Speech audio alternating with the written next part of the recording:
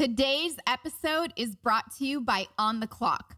On the Clock is a web based time tracking software providing accuracy, time theft prevention, and compliance assistance to over 30,000 customers, and they've been around since 2004.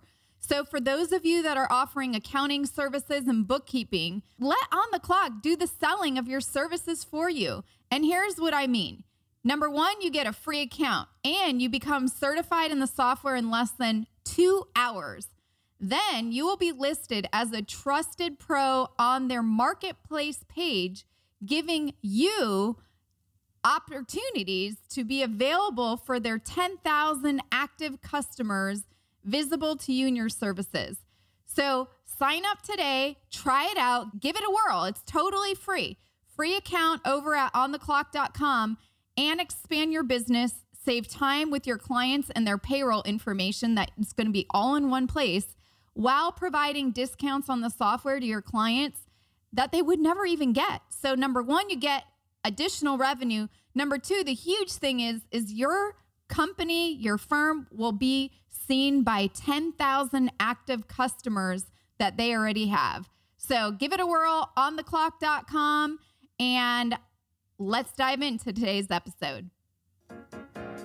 Welcome to the Abundant Accountant Podcast, where all accountants come to learn all the ways to grow your firm. And when you're in doubt, I am here to help you out. So if you're ready to learn and ready to grow your firm, then you're in the right place to sharpen your skills and increase your revenue.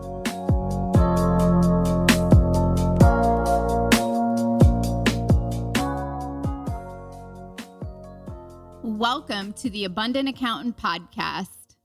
This is where accounting professionals come to learn all the most efficient and powerful ways that you can grow your firm, sharpen your skills, and even have paths and ways to generate consistent, increasing revenue.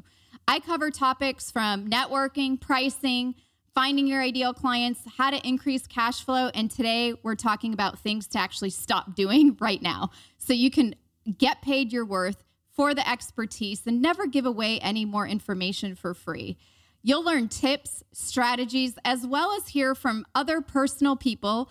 Today we have Jackie Meyer and other interviewees from successful accounting professionals around the country. So, this podcast will show you exactly how to create the business and life of your dreams full of abundance. So, today on the Abundant Accountant podcast, we have a very special guest and someone I know personally. She is the founder of the Concierge CPA firm. She specializes in providing innovative tax strategies and coaching programs to executive clientele for a high return on investment. She has recently been honored and included in the 40 under 40 CPA advisor winner. She is the American Institute of Certified Tax Coach member of the year last year. And you can read more about Jackie at her LinkedIn profile. And she's also a really lifetime long learner that has a she's actually completing a doctorate in strategic leadership from Regent University. And she also told me today she's hired four coaches. So Jackie is a go getter and she definitely has a passion for coaching firm owners, just like some of you, on exactly what to do to become more efficient, provide a higher ROI, and work with those ideal clients and apply tax strategies that most of your clients typically need. But before we welcome Jackie to the show, I would love to invite each of you, if you haven't done so yet, to take a quick second and please leave me a rating and a written review on Apple Podcast and subscribe to the show if you haven't yet. I do love hearing from you and reading the reviews, so I would greatly appreciate that. It does only take about 10 seconds. And if you're feeling a little frustrated and stressed with everything that's going on in the world and you have like no control over who you're working with and you don't believe you could ever get high paying clients, then you're probably like a lot of the other accountants who I've worked with and you feel like you're on a cash flow roller coaster ride. And I do have a solution for you. So you can join me at my accountant's masterclass over at theabundantaccountant.com. And you'll learn ways to feel really confident in positioning yourself as the expert. You'll learn ways to get consistent, high quality clients coming to you and attracting those people who will definitely pay you for what you're worth, no matter how much you charge. So you can register for that over at theabundantaccountant.com and I'll see you there. Now let's welcome Jackie to the show. Thank you. Well, it's always awesome to have you here. For those of you that don't know Jackie, she's going to introduce herself again. She has been here with us on the Abundant Accountant uh, podcast before. So today's conversation is going to be more collaborative versus like interview ish. So I'm really excited for you guys. Take a pen and paper because these are probably the five things you're going to want to quit right now if you're an accountant, which I think all of you are last time I checked. And, uh, you know, you're not going to want to do these going forward. It actually hinders you. And we have really great stuff today. But before we start, Jackie, can you share with everyone who you are? Also, mention your Facebook group because there's so much support for you guys online in there. It's great. And anything else. Yes, for sure. Hi, everyone. So, just me, I'm a CPA firm owner for a decade in Southlake, Texas, which is a suburb of Dallas Fort Worth. I converted my practice to value pricing around tax strategies about four to five years ago. Through that, I was able to triple revenue and equally decrease my time involved in the practice, which was pretty fun. I then started speaking at, you know, QuickBooks Connect, other conferences, and coaching others on the concepts at hand to really turbocharge accounting firms to the next level. Um, so that's at theconciergecpa.com. I also organically have just been growing a Facebook group called Accounting Firm Influencers. So search that, answer the little Q&A so I can let you in. We have over 4,000 accountants there where we're talking about all the latest and greatest hot topics in our industry and supporting each other uh, day to day. So um, I also happened to win AICTC of the year last year. So I'm big on tax planning, 40 under 40 for CPA Practice Advisor the last two years. Fingers crossed, I get that again this fall. And then uh, been a presenter and, and coach as well. So that's the gist of my practice and me. And we can talk a little bit more about it as we go. Awesome. Well, thanks for being here. It sounds like you have no idea what to do, and uh, if you own an accounting firm, so I'm glad I chose you. No, I'm just kidding. Jackie actually really knows what she's doing since she tripled her revenue, decreased the amount of time, and is now helping others do that in a different format than what I do. You know, this is more of like your processes and your flow. So, uh, all that technical nitty gritty business development stuff for accountants. So, yeah. we complement each other well. We do. We do. And I love our topic for today because I know I have some stories. I know you have stories. So, we're going to be storytelling today. It's like Sesame Street for accountants today. And, uh, I don't know why I just said that, but I, I think it's because Jackie, my boyfriend, and I have watched a documentary on Big Bird and we watched the documentary on Sesame Street. And I think there's a documentary on Oscar the Grouch. So I think I need to watch that one next.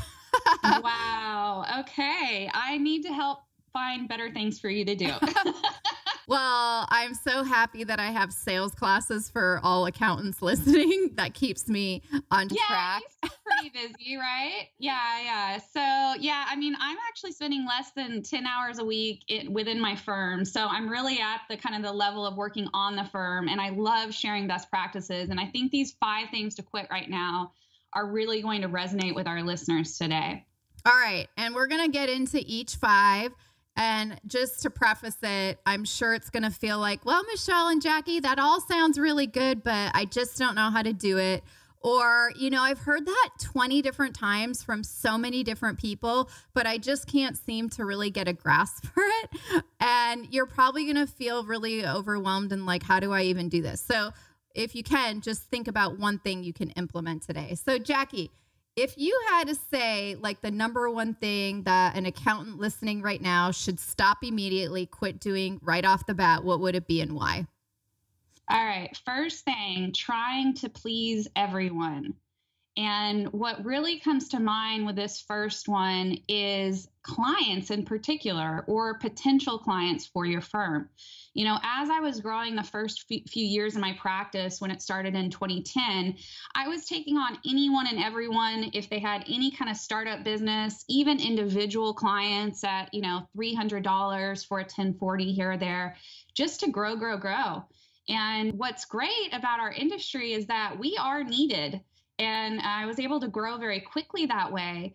But it also violated a lot of my personal principles on boundaries, mm-hmm. on uh, expectations that clients should have as, of, of me as their accountant and expectations I should have of them as clients of mine.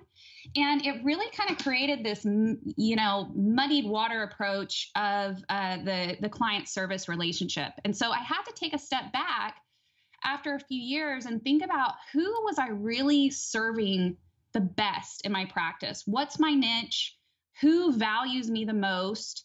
And um, that's when I really started kind of going down this tax strategy path and figuring out that I loved working with executives that were, you know, semi retired CEOs or CFOs of big companies, already had all the ins and outs of the day to day knowledge of how financial statements work. But they wanted to put all their trust into our company, Meyer Tax, to really just be that concierge assistant to them day to day and make sure that all their strategies and compliance work was going well.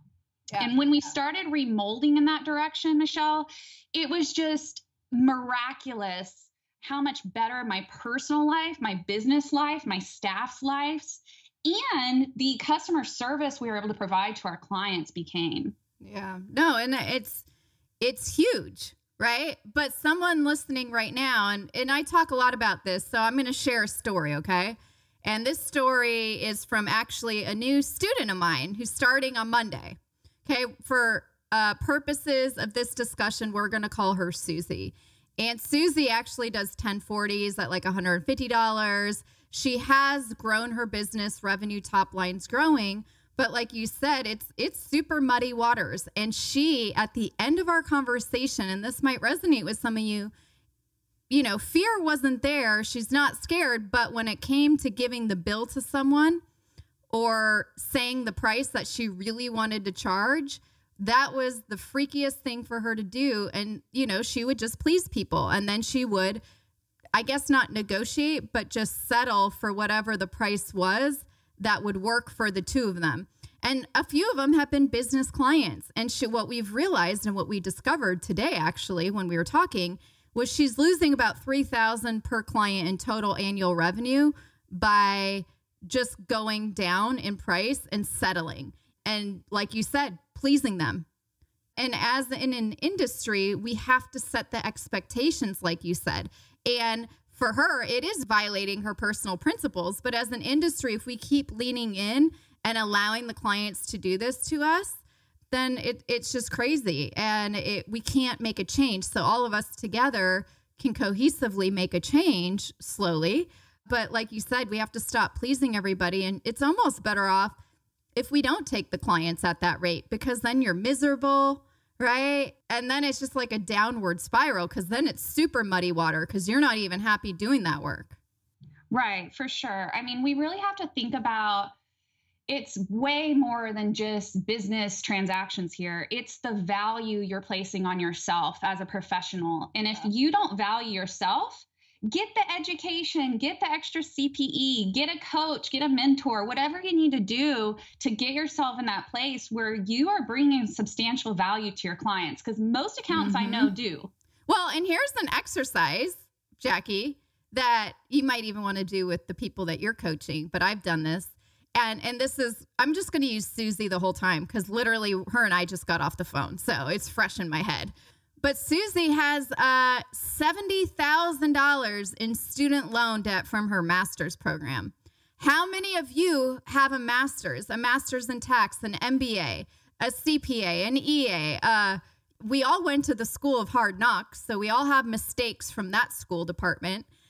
How much have you invested in yourself where now it's like what you're saying it's time to get paid for that value? How do you value yourself and that your clients get to pay you for. Definitely. Yeah, yeah i completely agree. But yeah at the end of the day everyone is not for everyone and you're actually doing a disservice to your clients by continuing relationships that aren't the most beneficial for your practice and for those customers at hand. Yeah. 1000% all right what's the second thing we all got to just kind of put a screeching halt to right now. All not- right. Number two is fearing change. So I found in the life cycle of an accounting firm and being an entrepreneur, which I can now claim because I actually have three companies at this point, um, and uh, growing, which is kind of nuts. Oh, and I'm in a doctorate program. So that's all fun. But yeah. um, yeah, I mean, every few years, you really have to take a step back in your practice and reassess what's going well, what's not going well, and figure out like embrace change. Like, what changes are going to really make us just like the most amazing practice in the world? Yeah. We actually came out with a core value for our firm this last year where we said we are providing the best tax strategies in the world. That is a really bold statement, right? Yeah, it is. It's confidence. Yes, it is. But you know what? Whether we're I'm, I would not say fake it till we make it because I believe we truly can do that and we are doing that. But it's about just putting it out there, like putting it out there to the world that you are going to succeed at what you say you're going to do. Mm-hmm. So, yeah, fearing change, we definitely need to embrace change. Our profession, especially with COVID this year, has been so many changes and it's been a nightmare um, with the government regulations and whatnot. But we have to look at the positive side, the bright side of it, and know how much we're helping people and embrace modernizing a firm, embrace paperless processes, all that jazz. Well, yeah. And it probably seems like things are changing every single day for all of you. So not only do you have to embrace change, but it's like in your industry, you're like, how am I going to survive all this? And everything's changing from one minute to the next. And some of you might be experiencing scary times and for your clients too. And then you have no idea, well, how's it going to look on the other side of this?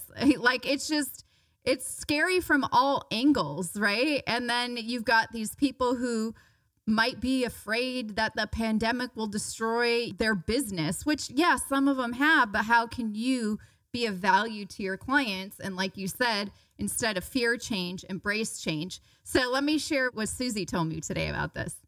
So, Susie, you know, in the beginning of our conversation, she actually said she wasn't scared about anything you know I, I really want to thrive during this time. I'm, I'm not scared. I'm not any of that michelle. I'm like oh okay really cool. That's awesome you know because i'm even scared at times. I'm like i got a sales class starting next week and i didn't have that in my projections. That came out of left field you know and it was so awesome and i'm so happy. But then about 30 minutes later susie said michelle you know what i'm really scared of? I'm like oh what because in my mind, I'm like, well, you shared earlier you weren't. And I know, Susie, you're going to listen to this because you found me because of the podcast. So hopefully you're laughing right now. But she said, you know what it is? I'm scared to present a high price and send a bill to a client.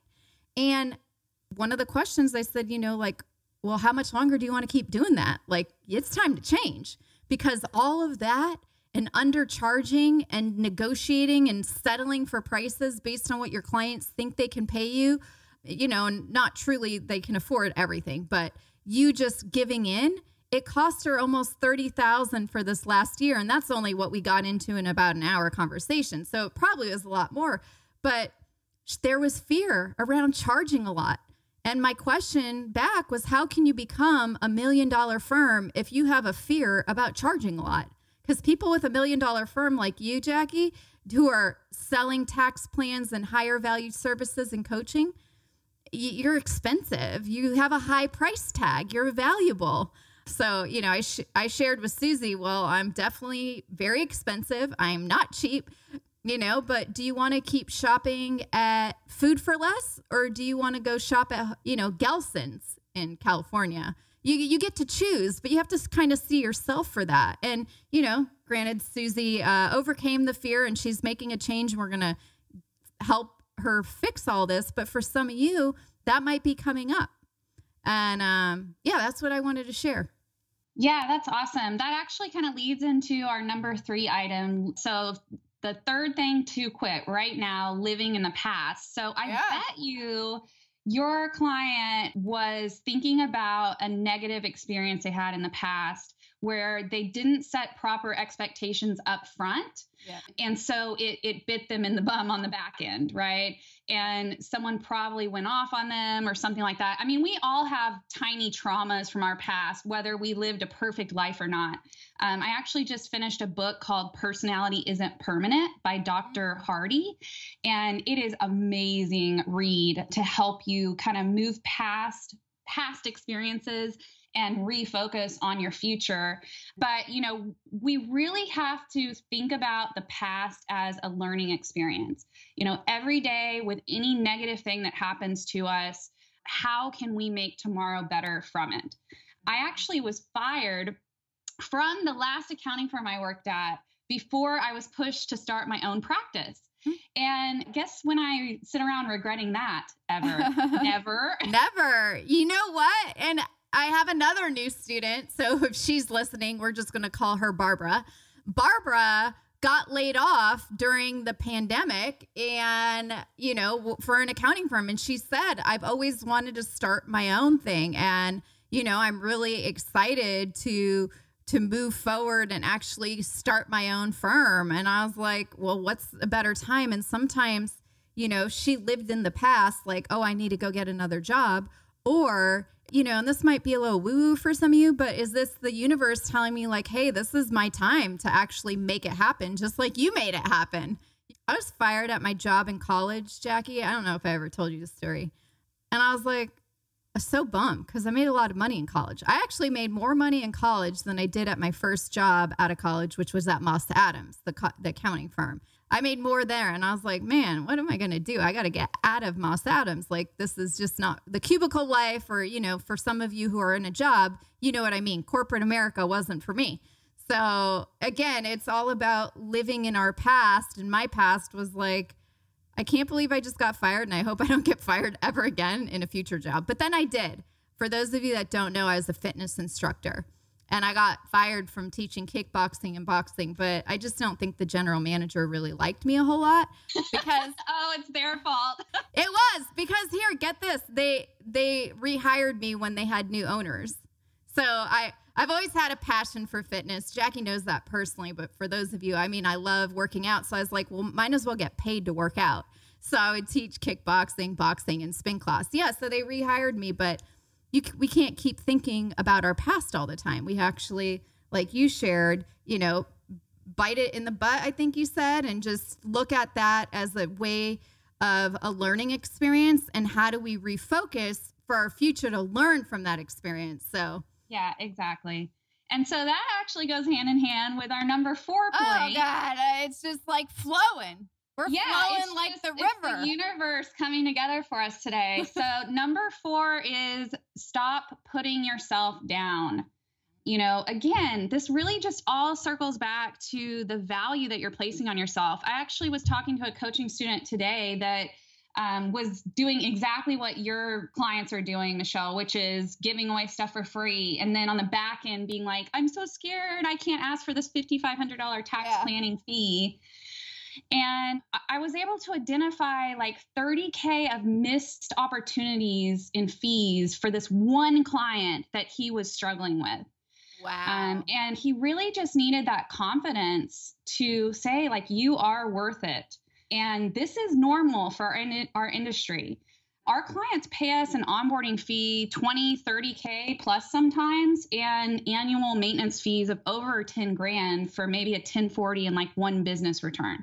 So you know we're not cheap and we have less than 100 clients but that's exactly how i designed it so that we can give the best experience to each and every one.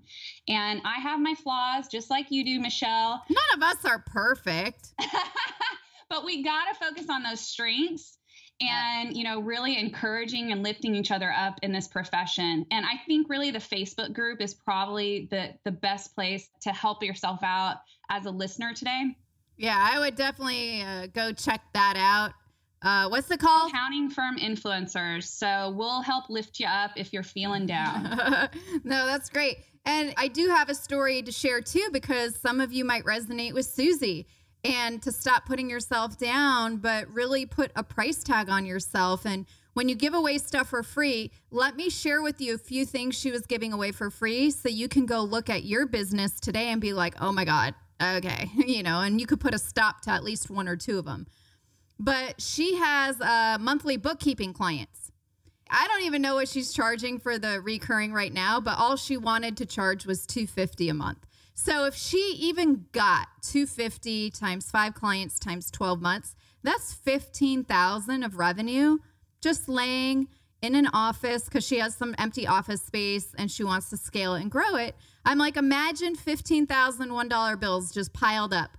That's what's just sitting there because we're not taking a stand. Now, um, Susie, your prices will definitely be a little higher than that after working with me, but just to get it to that point. We also identified she probably gave away one whole week of uh, answering people's questions for free at 40 hours. So she put a price tag on that, and it came out to about $6,000 of free information. And she's a contributor in her community, like teaches and other things. So it's like, I pick and choose where I'm going to contribute. I contribute here with all of you listening, right? Jackie's contributing her time right now, but then there's a there's a line in the sand you have to draw that says, "Okay, now you're going overboard. Now you get to pay." Another thing in an area that I thought was really interesting are you know how your clients get these like notices or letters from the IRS and you all know I'm not a CPA accountant nothing. I just work with you all. But I hate I hate those letters. They freak me out and they give me panic attacks and anxiety. So if you were my CPA, you could probably charge me for reading that letter to me just to calm me down.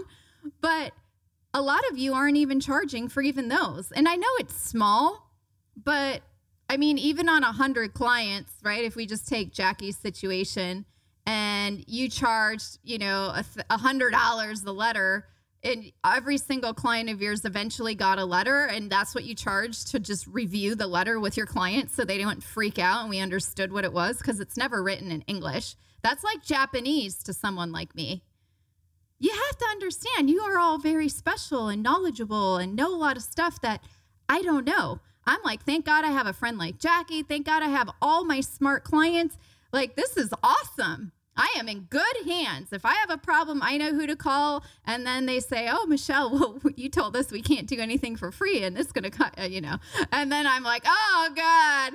But you get my point. There's there's the things that you keep doing out of habit, right? So if we go back to item number three, living in the past out of habit. Number two, fearing change. It's like yeah, out of habit, you keep just doing all this stuff at a donation department uh, rate, which is zero.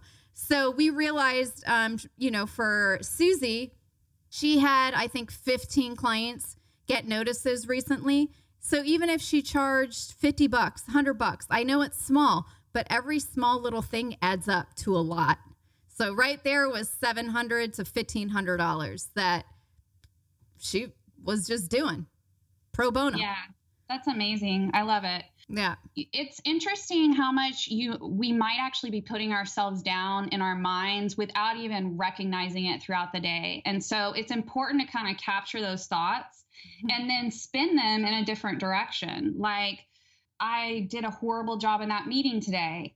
Really like I by the way, I have four coaches right now, which Michelle is not one of my paid coaches, but I consider her a good friend. So, you know, we're we'll just barter back and forth that way. But I am obsessed with coaching. And one of them was teaching me how to kind of like grab onto those negative thought processes and twist them into a different way by saying, like, what if? So, what if that meeting was just fine? You know, it's not an absolute. Whatever you're telling yourself is not necessarily the truth. And so I would just challenge people listening today to try to like capture that negative stuff because it will, you know, accrue up in you and and really end up hurting you if you don't figure out a way to spin it and turn things into the positive. Yeah. And I mean, it goes to show that you've invested in yourself too. In, into four coaches. That's a lot of coaching. God, that must be overwhelming but it's an area that maybe you want to improve on, right? That four step, not putting ourselves down and and I think also coming from the place of that I am a client of all of yours, all of us are clueless, okay? Especially with everything that happened in 2020. I can't read any of that and understand it. I need a translator. That's like learning Taiwanese. You know, it, it's like you got to have people like you, and you get to, you know, pay for it. It it's not that, and people have a lot of money right now. No one's traveling. Their businesses, their expenses are down. I was actually talking to a friend who his business expenses are typically double of what they're at because right now because they're not traveling. There's no eating out like it was, there's no plane tickets, hotels. So, if you think about it, most of your clients actually have more cash in the bank. So, now is a prime opportunity to start practicing and asking for higher fees and missed opportunities and all that pro bono work and just starting to have those conversations only after you put a value on your on your worth and you. Well you got to put a price tag on you. Mm-hmm. yeah for yeah. sure. Yeah that's great advice. Yeah and then add and jackie you should add those four coaching uh, coaches i mean that you invested in to your full mba program i call it. So that's like your cpa your investments and other cpe credit things and all of the stuff that creates your knowledge where you can say, I am, we offer the best tax strategies, right? That was a bold statement. But with all of the stuff that you have behind you, that's great. Like I can say, I provide the best sales training with a lot of confidence because I'm like you. I invest in more things to, I'm always trying to learn something new, even though I haven't learned a whole ton new, but I always find one little nugget somewhere along the way. And and my in my recent training, I don't know if I told you this, I'm doing some volunteer work and I'm helping on the suicide hotline. Oh wow, That's yeah. Amazing. I'm volunteering every week now. And it's really good training for me to help all of you learn those skills too, because you probably don't have the time to volunteer for something like that. And it takes a certain kind of person because it's kind of crazy the stuff you hear. But yeah, I'm always looking to up level myself in order to up level all of you. So, okay, I went off tangent. I went off tangent. I'm so That's sorry. Okay, no, I think, you know, really these five things to quit are for anybody, whether they're an accountant or not. And it's probably good refreshers for you to tell people that might be calling in on that hotline too, because we, we all struggle with these things every day. Yes. Well, the hotline, it's a very special struggle. It's very, interesting. But at the end of the day, if if I could share one thing with you, and I know that we're talking about, you know, you're a listener in a client relationship, right? You're the person listening, and I'm the listener with someone who's having an emotional crisis. Every single person needs three things. They want to be seen, they want to be heard, and they want to be understood. So if you eliminate these five little things we're talking about, they're not little, they're actually really big. Then then your your future client, your current clients will feel all those three things. And then you have long-term relationship client bliss. Okay, what's the fifth thing? Okay, number five is our worst offender as accountants, and it is overthinking. So, with us accountants being big uh, thinker types and learners and educators and whatnot, we tend to remunerate over the same concept over and over and over again and never actually implement anything. And I've struggled with that just like any other accountant. That's why coaching, I think, is so vital, is to get you to kind of snap out of that. But you know, I used to get paralyzed with some of these decisions about, you know, small changes that I wanted to make to my practice, to my family, to my life.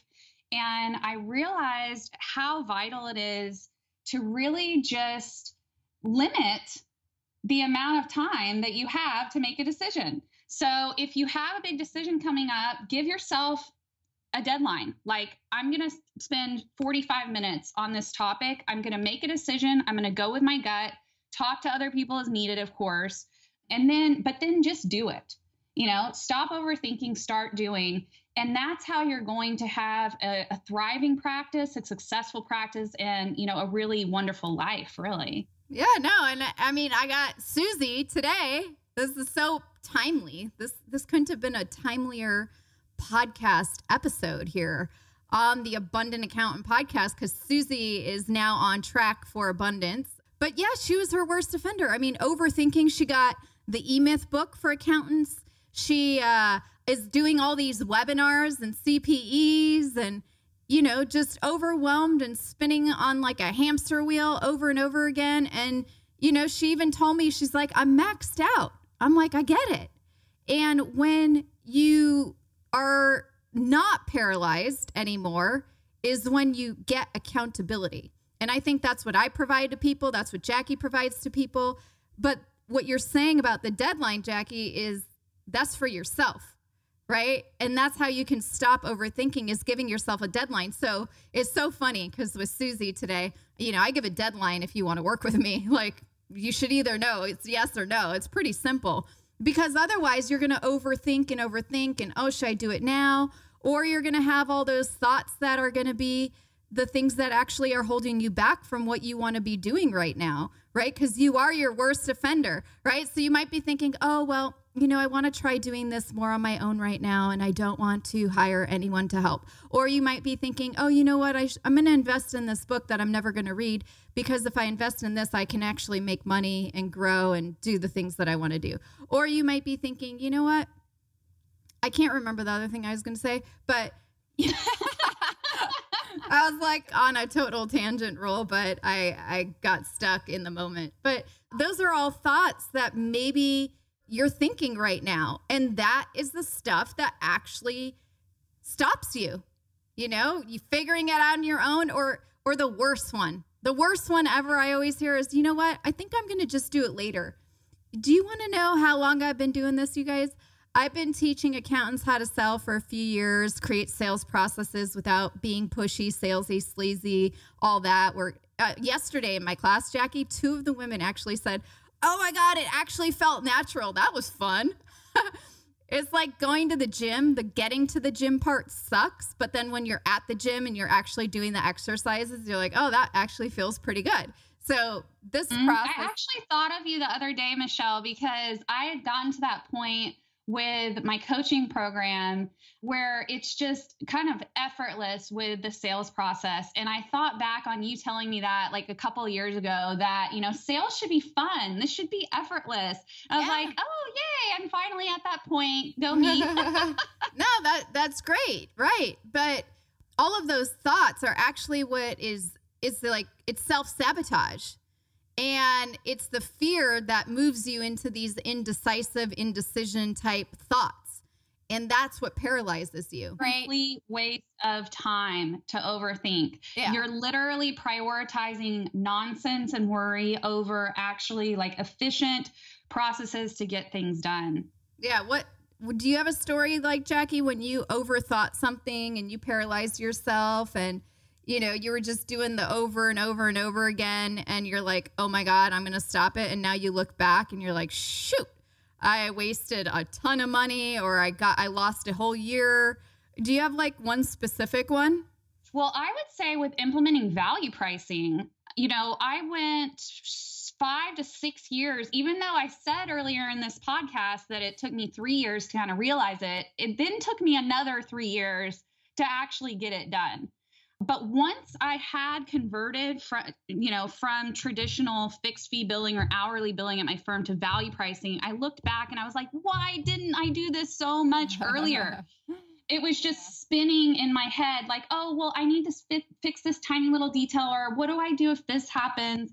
And it doesn't matter. You just need to go for it and then fix the problems as they come up because it was just so life changing to actually make that change in yeah. the firm. Yeah, I and I get it. So that was the six year uh, stretch, and I'm I'm sure some of you listening have had long, ones longer, ten years trying to quit. You know, like you've been wanting to quit that job, like the other woman. I don't remember what name I made up for her. We'll call her Barbara right now. But Barbara, you know, like always wanted to start her own firm and and do this and and really dive deep on like this tax stuff you're talking about and it took the firm to her for her to get fired or laid off because of what happened in 2020. That was the tipping point for her. You know, so how can you create that for yourself now so you don't have to waste 6 years like Jackie did and probably a lot of money left on the table? But yeah, thanks for sharing. Is there anything else, Jackie? Do you have a sixth one that came up in your mind, or we covered the five? I think that's pretty good. Yeah, I think that probably gives a lot for people to chew on. I would just say that, you know, that's why I developed the concierge CPA coaching program is to give you exactly how I converted to value pricing so that you don't have to go through that 6-year struggle that I did. Yeah. Um so, you know, highly would recommend people check out the program if you're interested in doing that, especially around tax strategies. And then also, my third uh, company that I mentioned right now is a brand new tax planning application that I'm creating called taxplaniq.com and it's actually letting you visualize the ROI that you're giving clients when you're quoting them tax strategies and implementing the tax strategies. And so I'm hoping that's going to take a lot of this overthinking weight off of people's shoulders by sharing these kind of new innovative ideas and products. But yeah, if anyone wants to reach out, I'd be happy to chat with people uh, about any of their current struggles. My email address is cpa at meyertax.com. Cool. And if you had it, because I always want to know, there's five's a lot. If you had to choose one thing to change today that you wish you would have done, you know, whatever, 10 years ago, I know you've been doing this a decade, six years trying to get to value pricing, blah, blah. What's the one important one of what we talked about today out of the five that you think someone needs to tackle, like right now, right when they're done listening to us in about 30 seconds? Is it, you know, trying to please everyone, fearing change, living in the past, putting yourself down, or the overthinking? Which one out of the five for the accountants listening right now would you th- say is the most top one to tackle? Okay, so I'm really torn between trying to please everyone and overthinking. But at the end of the day, we I have to pick overthinking. the time waste and the time suck of that is just enormous. I mean, you're probably looking at hour to 2 hours a day of overthinking versus doing yeah. that could could like substantially change someone's practice in life. Awesome. Well, thank you so much, Jackie, for being here with us today on the Abundant Account podcast. It was an honor to have you. Again. Of course. Thank you so uh-huh. much.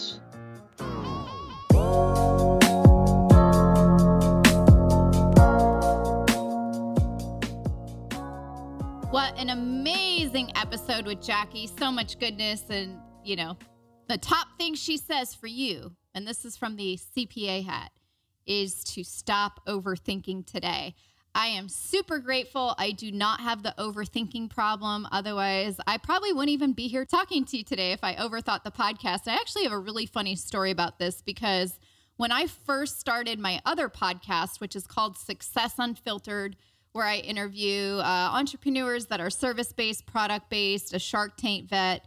For those of you that forgot, maybe I uh, pitched on Shark Tank season four you know, I started that and everyone was telling me, Michelle, you don't know what you're doing. You've never had a podcast. What do you know about podcasting? What do you know about interviewing people? Blah, blah, blah. And if I would have overthought all of that feedback and input, I probably would not be here today. And, you know, in October of what? That's 2018. So almost two years ago, I started this podcast. And this has been a great tool for a lot of you. I hear it all the time so if you have a quick second, please do leave me a written review and a rating on Apple Podcast. And if you haven't subscribed to the show, click that subscribe button. I also love hearing from you and reading the reviews. And one last thing before I let you go, if you are, you know, frustrated and stressed trying to get those right clients and you feel like you just don't have control over who you work with and what you're charging, and you feel like you're on that cash flow roller coaster ride, I do have a solution for you. And you can join me at my accountant's masterclass over at theabundantaccountant.com so you can learn how to feel confident positioning yourself as an expert. Really get those consistent, high value, quality clients and have more people say yes to paying you what you're worth. Just like Jackie, she's charging 20 to 30,000 per client now. So no matter how much you charge, it is possible. It's completely complimentary for my masterclass. Again, visit theabundantaccountant.com to register. Just a friendly reminder today's episode was brought to us by On the Clock. On the Clock is a web based time tracking software providing accuracy and time theft prevention and compliance assistance to over 30,000 customers. And they've been around since 2004. So, those of you that never tried them or heard of them, if you are doing accounting services and bookkeeping services, let On the Clock do the selling of your services for you. And here's how you do it number one, get a free account. Number two, you'll become a certified in their software in about less than two hours. You will then be listed as a trusted pro on their marketplace page, giving their over 10,000 active customers visibility to you and your services, aka a lead source for you. So, those of you looking for leads, sign up today for a free account ontheclock.com. Expand your business, save time with your client's payroll information because it's all in one place. And you'll be able to provide discounts on the software to your clients that they would have never otherwise ever got access to. So give it a try. Check them out. Give them a call. They're awesome. OnTheClock.com. And I will see you on the next episode.